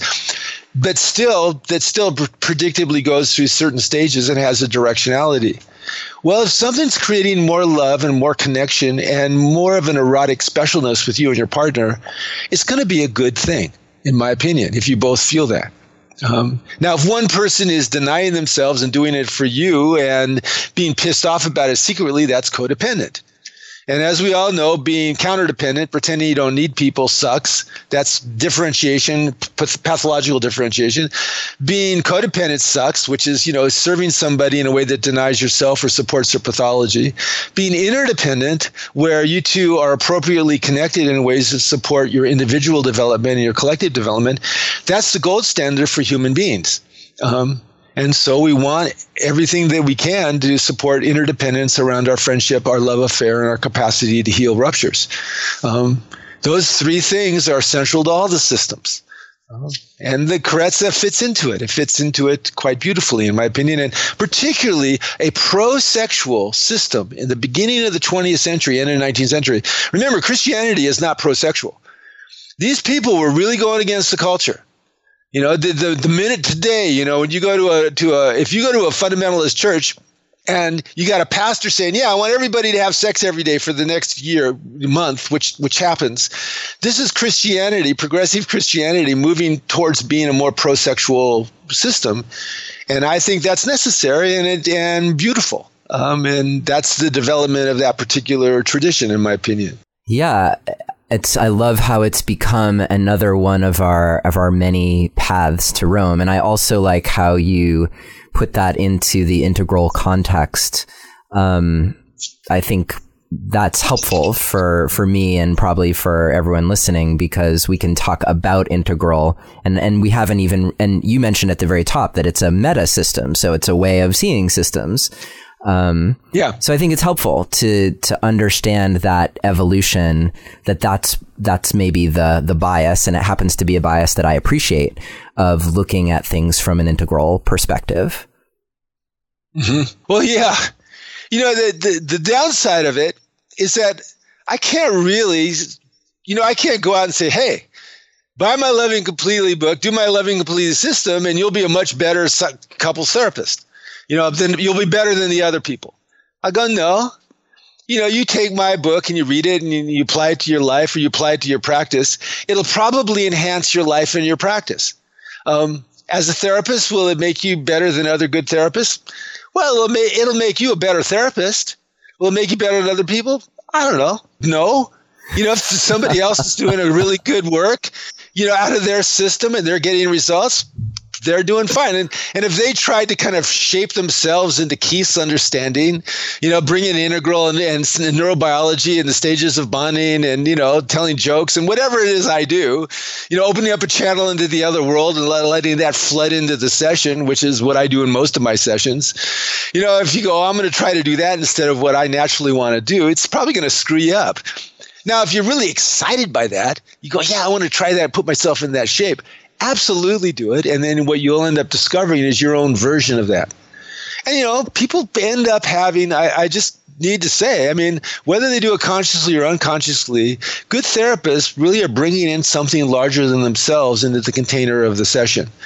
And you know, I just because I can see that and and other people can't sometimes doesn't mean that it's not always there with people that are doing healing work. Um, I now I personally think it's better to be aware of it, so it's it's easier to regulate it up if you're aware of it. But that's not necessary. Um, consciousness of it isn't necessary, but the presence of it does make the, the, work more sacred and more beautiful, in my opinion. And in integral, those are your three validity standards: what's true objectively, what's beautiful aesthetically, and what feels good intersubjectively and morally. The beautiful, good, and true. Mm. So I'm wondering, and this might be our last question for today because I feel like we've covered so much territory, and hopefully, this has been helpful for you listening um, to get so many different perspectives. And and hopefully, if we've pissed anyone off, uh, Sue, John, David, if you're if Stan, if you guys are listening, sorry, you guys, really, really sorry if I irritated you. I'm just trying to be a truth teller. I love your systems. um if we've pissed you off, hopefully it's in a good way. Hopefully you see that this is all meant to be just in service of of taking this all uh, to a place where it's really benefiting the most people possible. And and that brings me to my last question for you. And this is, I'm just curious to hear your answer. Do you think that we'll get to a point where the last book on how to have a good relationship will have been written? And people will just be like, you know what? Like, we're just gonna, like, this is the book. And there's no other, no, I mean, some people might say that's the Bible, right? But, um, but do you think that we'll, we'll get to that place where it's just gonna be like, you know what? Indisputably, this is, this is the book. This kind of covers it and it manages to encompass the light, the dark, the this, the that, the breadth of the spectrum, and it's all there. So the the short answer to that is no. That's no. That book is not going to be written. Um, you know, Loving Completely is my eighth book, and I'm working on a book on trauma now. You know, in that book on trauma, those nine books together are a cosmology that's a, that's an accurate reflection of how I understand the universe, how I understand people in love and psychopathology and healing, and how to move forward developmentally in the world and support the evolution of consciousness. Okay, so that's Keith's system. Um, it's integrally informed, but still, it's it's got my my personality and my psychology and my biases all over it. So that's going to be true for everybody. Also, we grow through stages. We grow from egocentric, which is age appropriate to little kids, to ethnocentric, you know, where we're conformists to to other standards. They don't have to make sense, which is which is normal for grade schoolers, to rational, uh, at teenage, which we can do critical analysis, but we're attracted to merit-based hierarchies. The pluralistic, which you see in Latin college, where there's people who are egalitarian and multicultural. The integral, where you're looking at everything in, in authority and, and uh, goes in a flex flow standard. You notice power, uh, growth hierarchies and dominator hierarchies and choose growth hierarchies. Okay, so every one of those worldviews responds differently to different uh, teaching about love. Um, you know, when I when I write, I try to write to all of those worldviews, um, but each one of them is listening differently because we all look at different worlds, and there's and and the worldviews don't stop. They don't stop at integral um, you go from integral to uh, a level of connecting where you want to connect with like, like-minded others to serve the world. You and I are doing that now. That's that's the next level after integral. There's another level after that where there's a constant un- relationship with spirit in whatever you do, and then there's another level after that. Okay. Now, the more, the higher you go, the fewer people meet you there. But if someone understands that territory and writes a book about it, it's just one of the pleasures of the world to run into that book and go, oh my God. You know, this is what Ken Wilber's stuff did to me. You know, there was a part of my consciousness that was bursting to grow and wasn't finding a map to, to, to grow until I found the integral map, the meta theory, and then bam it, it literally transformed my consciousness. I'm a different person in many ways. I see a different world, um, um, and I've progressively seen different worlds. And so what, what's what's going to happen more and more, particularly now that there's this explosion of knowledge, is people will write their their books in the, from their systems to whoever it is they're talking to. And you know, you, you I'm focusing more on people that are rational and post rational, but you know, fundamentalists could get stuff out of my book, and egocentric people can but I'm not writing it to an egocentric audience. Um, if I was, I would write a book about the warrior and the man of wisdom um, when I have egocentric guys in here, I go, I challenge them to be a warrior of integrity moving towards man of wisdom. You know, red, egocentric, power god types guys like that. Okay. If I have an egocentric uh, uh, feminine person, um, I challenge her to be the embodiment of whatever whatever her concept is of the feminine design, woman, moving towards woman of wisdom. Okay, those work very well in my experience with egocentric worldviews, but they don't work very well with ethnocentric worldviews and so on. And so, as we expand and we understand are all these worldviews, all these ways of, of visioning, of, of, of experiencing the world are valid, and that they do develop progressively. You don't skip levels when you grow on a developmental line, and that each one of them is available for different kinds of input. Terri O'Fallon up in up north does this. She says that you you you have to inhabit certain kinds of states before you can make it to the next developmental level, and those states involves understanding, but they also involve a visceral experience of certain things. Um, if you don't have a visceral experience of, say, um, the infinite, you, you can't get to a particular developmental level on your uh, psychosocial line or your or your self line. If you don't have an experience of world centricism, of all people being connected, we all of us being brothers or sisters, you can't really get to a world centric worldview. Okay, you have to have that experience. It's a felt experience. So the books all speak to the different stages and the different developmental levels and the, the different systems. And so we'll we'll keep on writing books and we'll keep on coming up with new systems. And we'll keep on you know interfacing it with technology like neurofeedback um, or, or, therapeutic systems uh, like somatic re-experiencing emdr and so on. And we'll keep on refining our understanding of development um, what's going on neurobio- neurobiologically in the different developmental stages but also not just individually because we grow up in a relationship what's going on relationally when you shift from infant to, to toddler to young kid um, to sexually aware where, um, you know, Neil, one of just just just the final bee in my bonnet. okay. But, you know, I work with families. I tell families, talk about you know, you control what your kids see, control images, you know, screens, whatever, but talk to them about everything. You know, couples. I don't want to talk to my kid about sex until they're what, fourteen or something, or eleven. Or no, talk to them about sex when they're two or three I'm not going to talk about about violence to my kid because I don't want to talk to them about violence when they can talk. Talk to them about everything. And then, and but control the images. You know, you don't want them to have traumatic images, but you want them to have a global understanding of how the world works and how they work, because they're sexual beings. They have impulses to violence. How are they going to understand their sexuality, their impulse to violence, their selfishness, and so on, unless you can see it, normalize it, and help them understand it within the context of development and the cultures that they're in.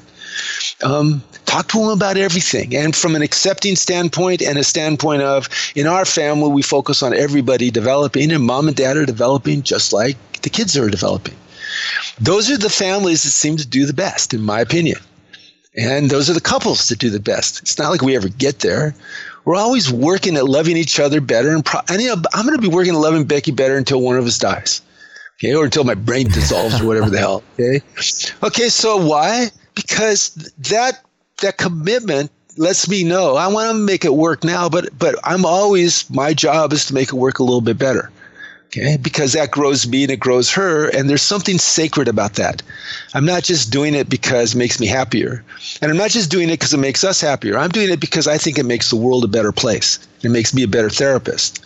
Um, those are the you know we're doing i'm doing it for world centric reasons as well as egocentric reasons because development is included in transcend you know, you, you know, you never lose egocentricism, but you do get world centricism or even life centricism.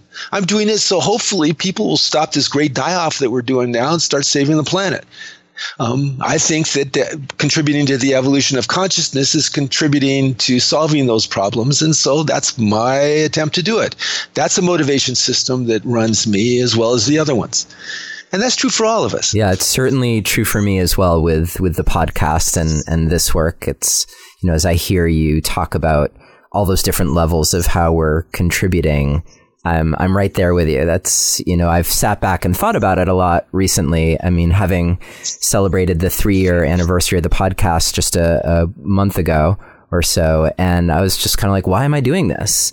And it's interesting, right? Because yeah. some of those reasons are personal. Like, yeah, this is Neil Sattin wanting to make his mark on the world.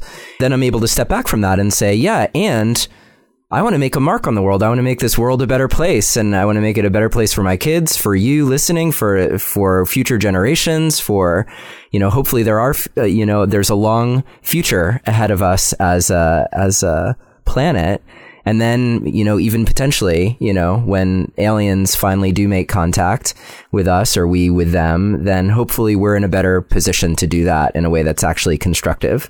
Um, that's the first time I've spoken those words. So, you know, I, did, I wouldn't have told you. I, am going to have to interview Whitley Strieber now. I'm going to have to get him on the, on the show. Well, that's why I love talking with you why you enjoy talking with me. You know, we, we share these motivation systems, Neil, and other people that talk to us and, and share them, they'll, we know each other when we relate. Yeah. You know, we feel that. And, you know, it, it, it's there's a there's something. This is the evolutionary impulse coming through us. It feels sacred. It's something that is in the fabric of the universe to evolve to greater complexity. And with human beings, greater complexity is deeper consciousness, more compassion, and more love. Okay, more care for more, more for all.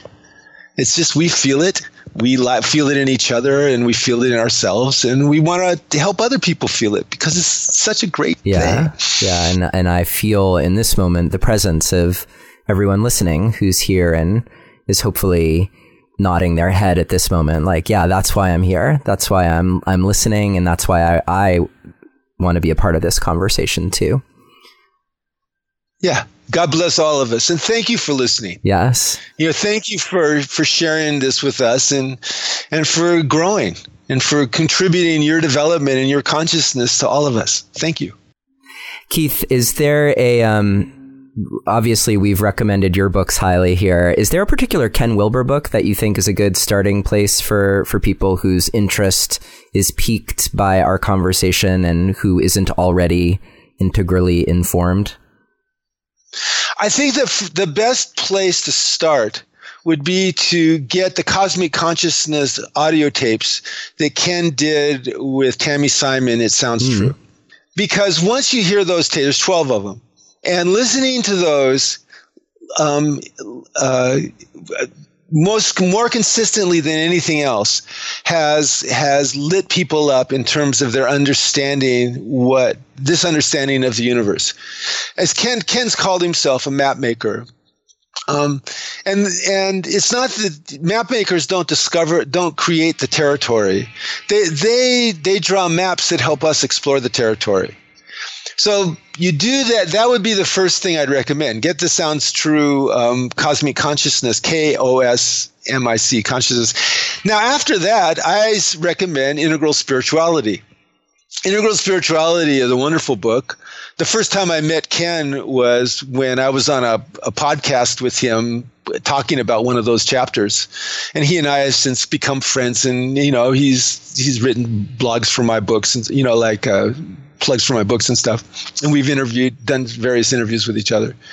But that's when I first met him. And and that that integral spirituality uh, book, if you if you if you, particularly if you've heard cosmic consciousness, it really takes you deeper into the cosmology. Um, at a, at a particular point, you just understand the universe in a in a in a different way, and particularly how consciousness exists in the universe, and particularly human consciousness, that that changes you. It's a, in that sense, it's a psychoactive system.